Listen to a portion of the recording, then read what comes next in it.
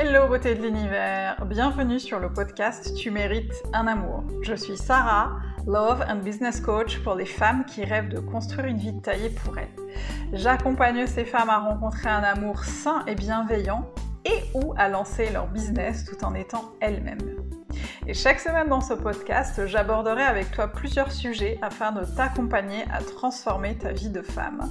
Je partagerai avec toi mes conseils et astuces ainsi que mon expérience de coach afin que tu puisses toi aussi devenir la femme que tu as toujours voulu être.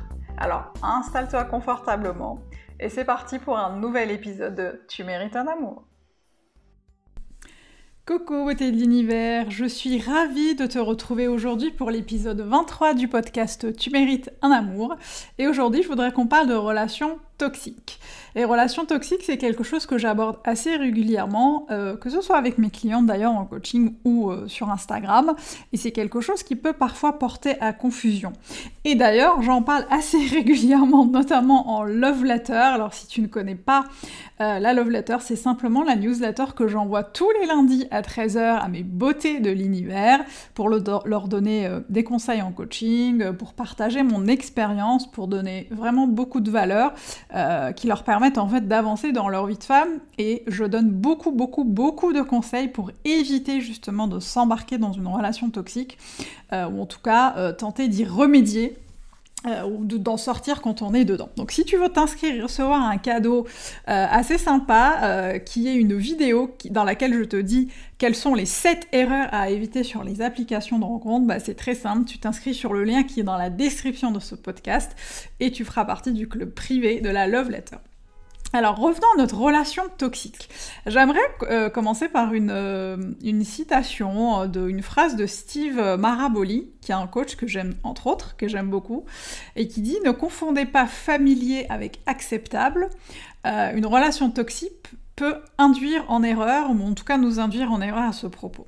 Et effectivement, aujourd'hui, on lit beaucoup de choses sur les relations avec des personnes toxiques. Euh, j'entends euh, parfois euh, quand on, parle de relations avec des pervers narcissiques, avec des gens non engageants. Et parfois, on ne connaît pas forcément la définition exacte de chacune de ces relations.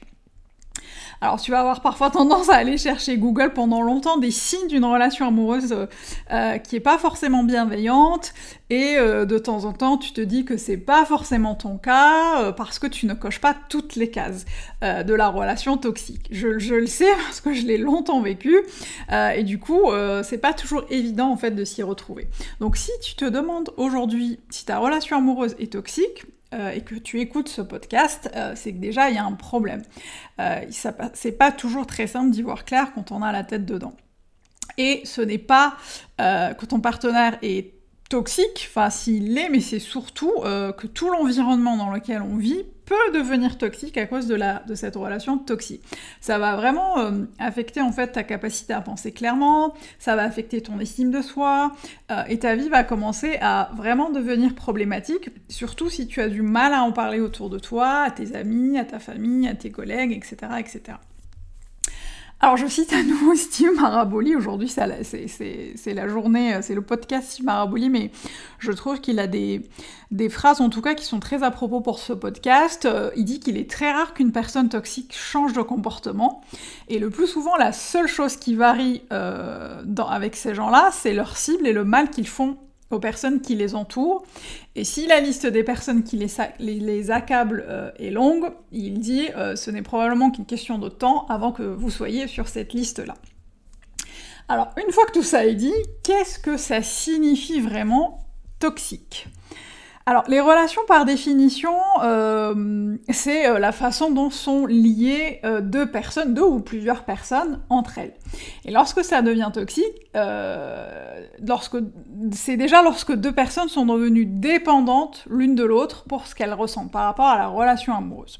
Et au lieu d'être complètement indépendantes et de trouver leur valeur dans, bah, dans le monde qui nous entoure parce qu'elles apportent, parce qu'elles vivent, etc., etc., elles commencent en fait à dépendre de leur partenaire pour se sentir bien.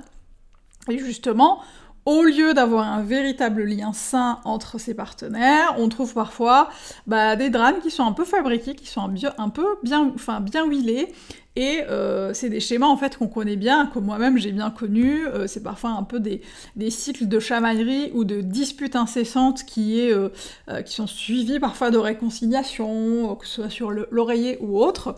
Et on a beau se disputer souvent, la relation semble en fait à un instant, ressemble plutôt à un véritable amour. Alors comment savoir si ta relation amoureuse est toxique?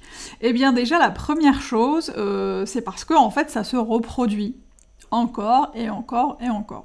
Une relation qui nécessite en fait une le fait d'injecter du drame pour se sentir connecté, euh, c'est une relation en fait qui n'a pas de connexion réelle, qui n'a pas de connexion profonde.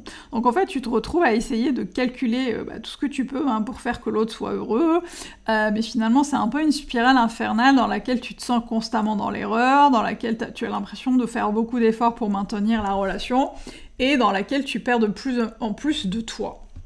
Tu as l'impression que tes passions disparaissent, que euh, finalement ton sentiment d'identité, de, de, singularité commence à s'évaporer et la vie devient un peu un effort anxieux et déprimant que tu n'as pas forcément euh, euh, contrôlé et justement tu n'as aucune idée à un moment, tu te dis mais purée comment j'en suis arrivé là, comment je, peux, comment je peux en sortir? Alors déjà je voudrais te donner quelques signes d'alerte qui peuvent te faire dire que tu es dans une relation qui est toxique. La première chose que je vois, c'est que euh, on ne se sent pas, on se sent, j'allais dire, on se sent pas souvent libre, mais c'est pas vrai, c'est qu'on ne se sent jamais vraiment libre. Euh, en fait, on peut, t'as l'impression que tu peux à peine mener une conversation sans mentionner le nom de ton gars. c'est un peu le sujet de prédilection. Tu es absorbé par ce seul sujet. Euh, et les gens, en fait, tu as l'impression aussi qu'ils sortent tranquillement de ta vie. Tu as quelques courageux qui euh, bah, peuvent commenter en fait ton obsession relationnelle, mais la plupart des gens commencent un peu à disparaître de ta vie. Donc ça, c'est un signe quand même quand tu as vraiment euh, pas vraiment l'impression d'être libre dans la relation. C'est un signe d'alerte, un grand warning, un grand drapeau rouge qu'il faut à tout prix écouter. la deuxième chose que je vois, c'est que tu peux tu as l'impression, en tout cas tu crois que tu ne peux pas vivre sans lui. Euh, et en fait, tu vas renoncer à un certain nombre de choses au fil du temps, tu vas sacrifier beaucoup de choses pour maintenir la relation euh, euh, à flot, et, souvent c'est toi qui vas consentir en fait à sacrifier un certain nombre de choses et pas souvent l'autre. Et ça, c'est vraiment en fait un drapeau rouge et c'est vraiment un signe qu'il faut vraiment vraiment écouter. Ensuite, euh, la dernière chose que je vois, la liste n'est pas exhaustive, mais c'est vraiment des choses que j'ai moi-même pu euh, expérimenter, c'est qu'on a l'impression d'avoir toujours tort, en fait, d'avoir toujours, euh, de faire toujours des, conneries. C'est assez épuisant parce qu'en fait, dans une relation toxique, c'est quelque chose qui consomme beaucoup d'énergie. et quand on est avec eux, on a juste envie d'en sortir, et quand on n'est pas avec eux, on se sent, on se sent un peu, un peu, un peu seul et un peu triste. Donc c'est toujours euh, compliqué parce que parfois on se sent euh, manipulé, ça a des répercussions sur notre vie. Et forcément le drame engendre le drame. On commence à croire que euh, en fait c'est pas forcément le partenaire dont on, dont on a besoin, ça commence à peser. Et c'est un peu comme un cercle vicieux dont on n'arrive pas forcément à se sortir. et voilà, c'est vraiment des signes que j'ai pu explorer et qui peuvent en fait te donner vraiment, te mettre vraiment la puce à l'oreille euh, sur le fait que ce soit une relation qui est toxique pour toi.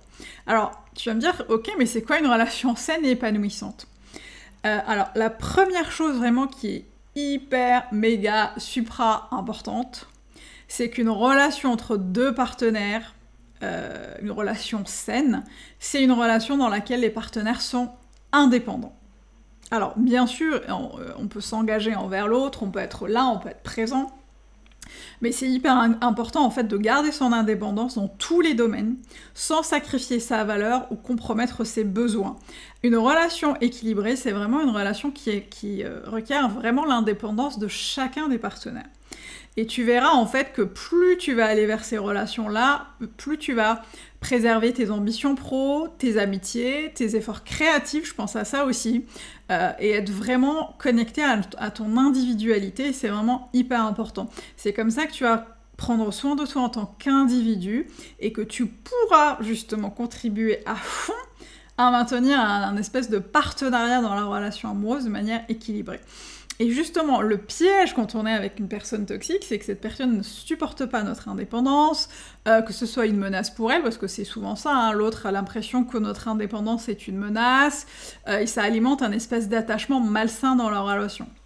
Donc en vous donnant de la liberté, en fait, ils savent très bien, ces personnes-là en tout cas savent que ça signifie renoncer à leur, leur domination dans la relation et, euh, leur, à leur manipulation. Donc c'est vraiment hyper important euh, en fait qu'on puisse être libre. Et moi je pense à un truc, en fait il y a un signe vraiment de, la... De l'amour véritable, il pour moi un signe d'amour véritable dont, dont, on parle jamais. Euh, et d'ailleurs il se peut que toi-même que tu n'y aies pas forcément... Euh, tu ne l'aies pas forcément évoqué ou tu n'y as pas peut-être pensé.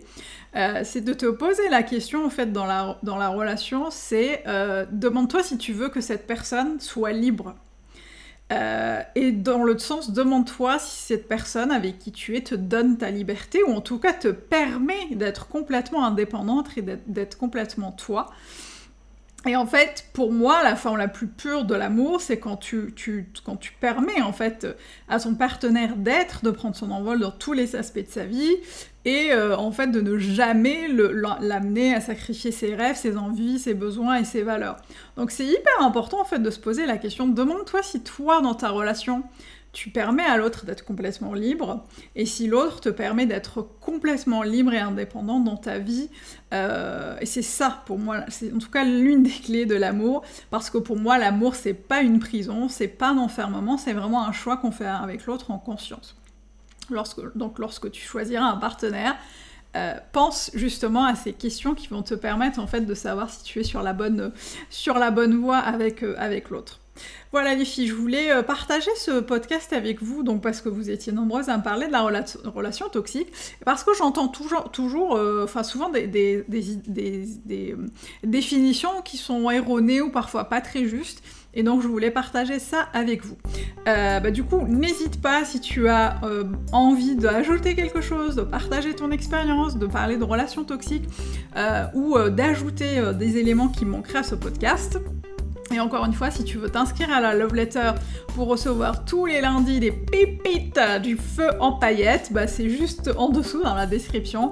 Et en plus, tu reçois une vidéo dans laquelle je te donne 7 erreurs vraiment à ne jamais connaître sur les applications de rencontres. Voilà les filles, c'est fini pour l'épisode d'aujourd'hui. Euh, je te dis à très très très vite pour le prochain et je t'embrasse. Et et et n'oublie pas, tu mérites tout un amour et moins que ça, tu prends pas.